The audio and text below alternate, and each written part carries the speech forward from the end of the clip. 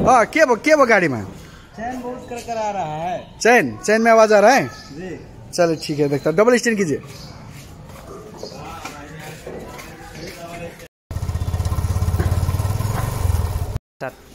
यसमा तपाईँले मोबिल हाल्नुहुन्छ मोबिल। त्यही त्यही समस्या छ यसमा स्प्रेबाट आउँछ त्यो हाल्नुपर्छ बुझ्नुभयो कसो थ्री बोर्ड लिन्छ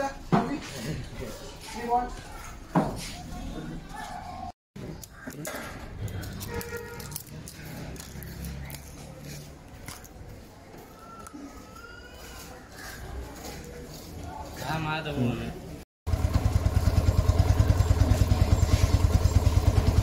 अब यो थ्री वान तपाईँ युज गर्नु। बुझ्नुभयो?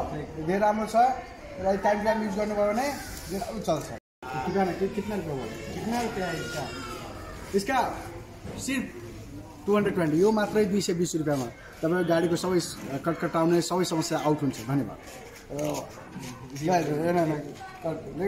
पूरा हाथे से